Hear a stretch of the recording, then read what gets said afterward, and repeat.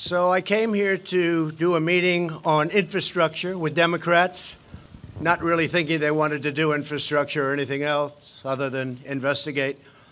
And I just saw that Nancy Pelosi, just before our meeting, made a statement that we believe that the President of the United States is engaged in a cover up.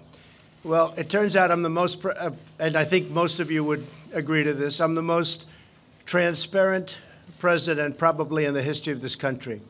Uh, we have given on a witch hunt, on a hoax. The whole thing with Russia was a hoax as it relates to the Trump administration and myself. It was a total horrible thing that happened to our country.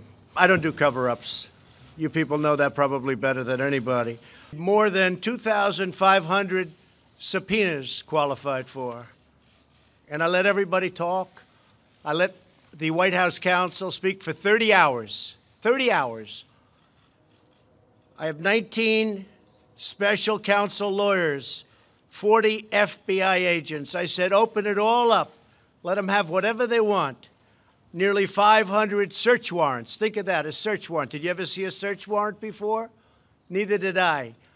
These are the people that after two years and 40 million or 35 million dollars, it'll end up being a lot more than that by the time all the bills are paid. This is what happened. No collusion, no obstruction, no nothing.